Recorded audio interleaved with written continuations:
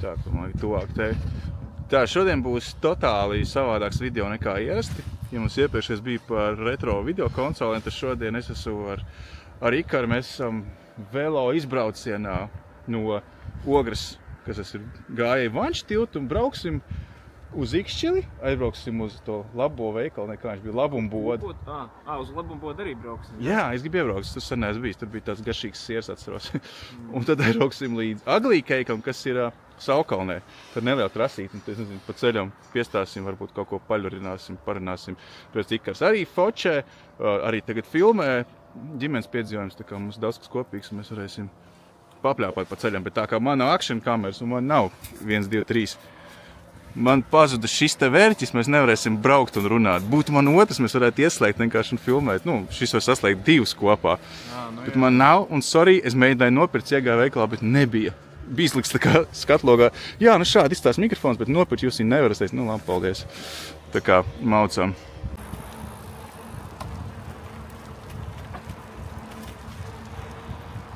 Viss mēs pametam ogri un dodamies Ikšķils virzienā. Dažs vien, ka vējš pūš šausmīgi un neko nav nedzirdējis.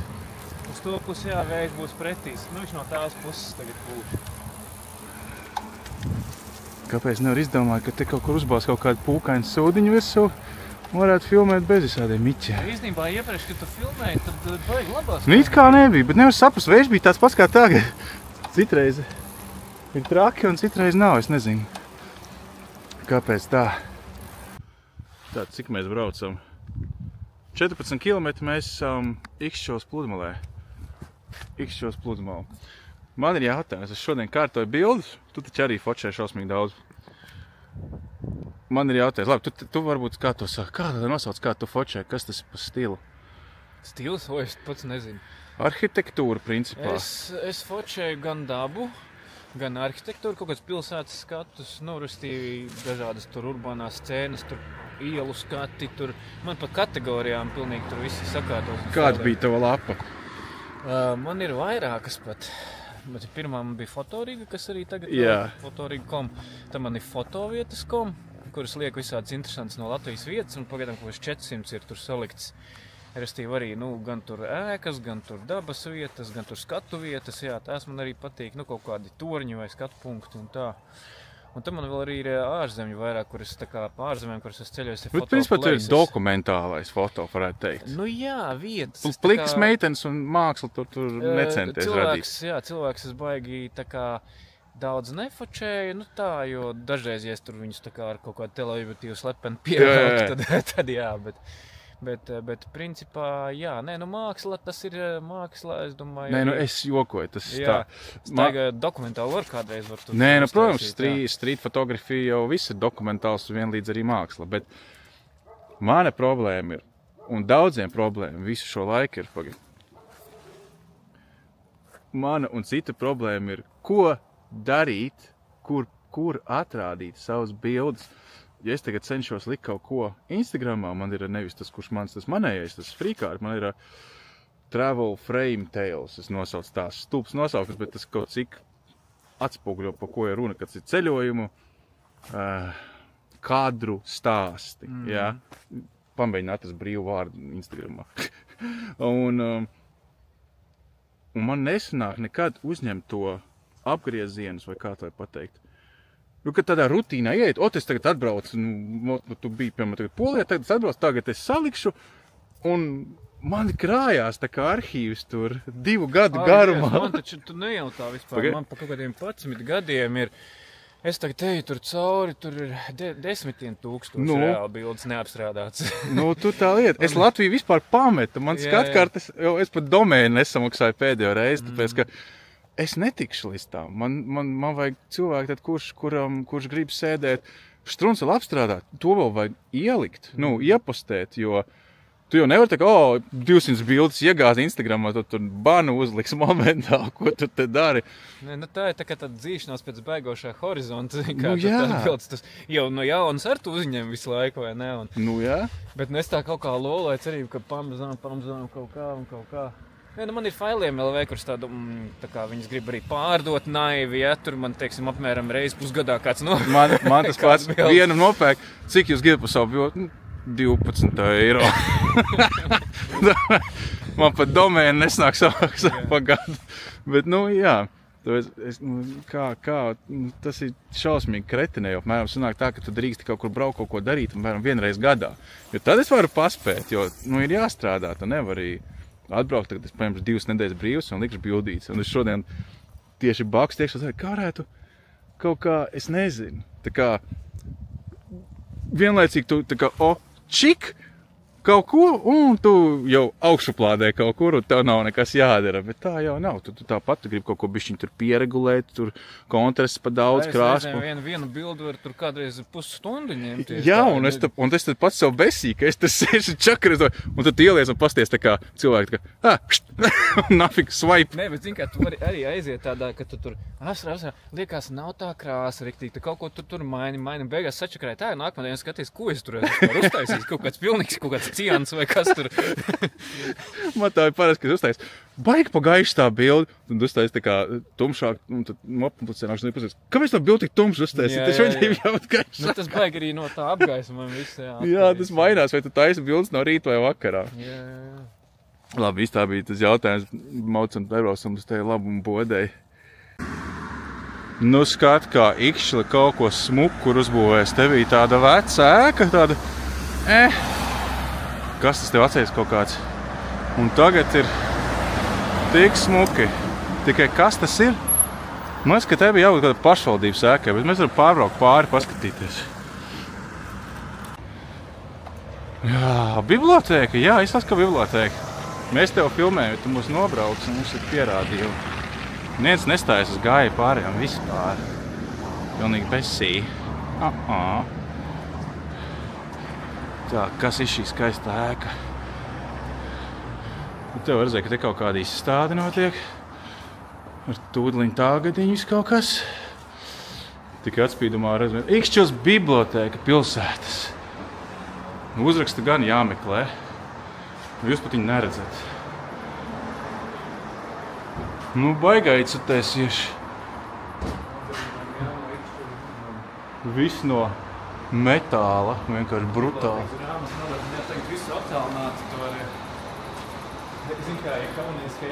Nokavējis. Jā, es šitā jēlgā arī atnāku un iemetu vienkārši.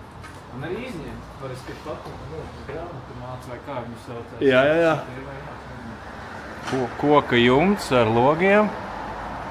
Nē, nu smuki, tāds sakārtots tas. Eka šādi te. Koku klumbas ar soliņiem, bet kas tas ir? Tas ir betons. Nē, tas nav. Kas tas, tas ir? Kaut kāds kompozīta materiāls. Izskatās pēc betona, bet laikam tā ir. Jā, kaut kā dīvaini skan, bet nu rīktīgi izskatās pēc betona. Bet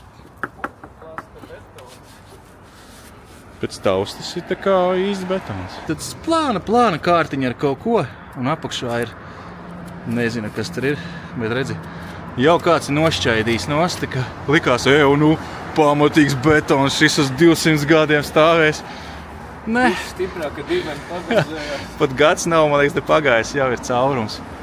Nu, žēl, tas pēc pieciem gadiem tas būs diezgan briesmīgs skats. Cerams, ka viņi varēs atrisināt, jo kā risinājums, bet vai ir ērti? Jo parasti netaisa taisnas muguras. Taisnas muguras, nu, tas tā kā viens nesēž taisnu muguru, vai nu bišķiņu uz atpakaļ jābūt, ir, lai tu vari atlaisties. Jo citādi mugura tev berzēs pret to kantu. Yep. Mugura berzēs pret kantu nav. nav. Durās tā kants mugurā uzreiz. Mēs esam eksperti, mēs braukājam pa pilsētām, sniedzam ISO, kā to sauc, novērtējam ISO lietām. Mēs esam žurnālisti, jā. Tev spiež tā somiņa, bet, ja tu apspiest muguru, tev sanāk, tev vienkārši lāpstiņas atspiedīsies pret to kanti un viss, un tev nebūs ērti. Kad mēs dzīvojam Ikšķelē, šis bija mīļākais veikals, labumu bode, ko mēs te pirkām, liekas, pirku alu un sieru. Nē, arī kaut gari kaut kāds uzkods. Cik mēs esam nobraukuši. 17 km, pusotra stunda. 122 taukus dedzinošais. Iesi, pastīsimies, vai mēs varam dabūt no vakaram uzvaras dzērienu. Ja mums vēl ir jāmanās vēl, un tad tas viss vēl jānomienas atpakaļ. Tā no aliņiem, no aliņiem, ko mēs varam dabūt trīs indiāņus, kas man garšo Herbal DDH.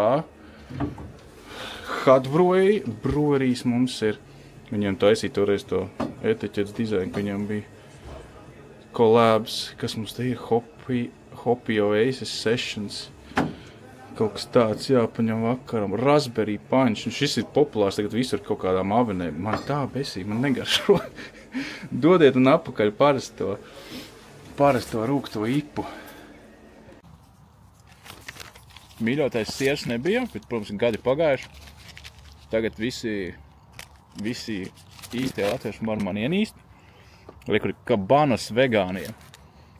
Uh, Amala vegānā fabrika kūpinātas kabanas desiņas, kas sastāv no kviešu obaltiem vielām, ūdens un sojas. Lai kaut ko pažrambātu un negribas ēst cūku taukus, ir baigi labi, garšīgi. Kā es filmēju, tas tās piķa melna tums.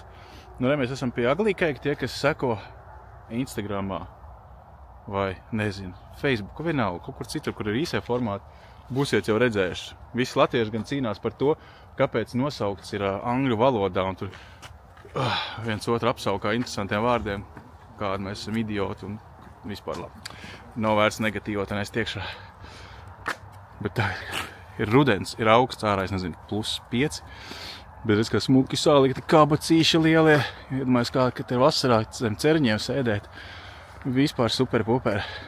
Droši vien, ka tad ir mīkstie visādi paliknīši, un tas paletīts izstās daudz priecīgāk, bet ir lampiņas un ir atvērts, cik ir pūkstens. Pus pieci. Maz, ka viņš bija līdz septiņi. Bet ir naisiņš. Ā, re, kur rakstīts, redzi. Līdz astoņiem, pirmdien, piekdien ir pašapkalpošanās, sestdien, svētdien kā parasti. Tātad sestdienās, svētdienās to var satikt arī pašas saimnieces cepējas. Bet tagad ir pašapkalpošanās. Un iekšā es mukam patīk. Mēs, ka tā bija divi filmējumi, tas nekas. Es jau pabeidzu. Reku raugu maizi šodien var dabūt, iepriekš nebija maize. Pasties tā. Viss ir satīts plēvītēs, tie tur dibeni cilvēki, kas tur Facebookā, kā jums tur produkcija stāv plika, nekas nestāv pliks, beidziet. Tā riebjās tie piekasās tie latvieši, tā kā blūzas meklēt visiem vai kaut kur. Ā, viņi pa šito tieši teica, ka tas tā plika. Droši vien, bet man liekas, ka tā arī ir. Nu kā, nu saldējums, nu kā tu vēl gribi, lai viņš stāv? es nezinu. Tad, kad tu ieej parkā saučiku pirkt, nu viņš arī tā stāv, tev ieliek un viss. Nu, jā, jā. Nu viens ar rokām tu nebāž iekšā, bet man zina kā. Uh, Alis teica, tas, ka, ja tu tādu sūdu domā, tad visticamāk, ka tu arī tā dari. Tāpēc, ka normāli cilvēkam nenāk iekšā, nu, ka tev vai šis būs indīgs, jo tu rokas nedomā tur iebāzt. Jā, jā, jā. Tie, kas to raksta, nu, visticamāk, paši arī praktizē. Beigi visu laiku vaļā stāvēt, ka tur visu laiku kaut kāds mušas līst iekšā. Nu, nē, līdzīgi. nu, tur cilvēki baidās, ka rokām apgramstīs. Nu, es nezinu, dīvaini viss ir. Bet... Rokām stāv taču. Reku tagad ir maize, toreiz nebija. Reku salinātā bio mieži ierauga maize, bio piena sviesti ierauga baltu maize, ir sk sk skramblausis, biespiena plāts maizes, bio kvieši ierauga. Bezglutēna laikam nav gan, jā. Ir bezglutēni tie našķīši. Mēs pirkām viņas sāļie, tādas tā kā sēkliņas sacepts rūktenis. Man patika. Mēs nevaram nu, nevar apstāties gan vienīgais. Nu, tas kā sāc, tad tu grauz gribi visu laiku tā kā čipšiem. Tad es saldēju visu kaut kas. Makarons pirkām, šokolādes kūku, cake pony, pony, jā, ponijas un trūbiņas. Te arī var pagaršot, re, kur ir tas, liekas, ka šis ir tas bezglutēns stāvs. Ah, Kas te ir nogaršo mani? Tas ir ā, rudu sēklu lauskas šīs te. Ah, Mēs pagaršosim.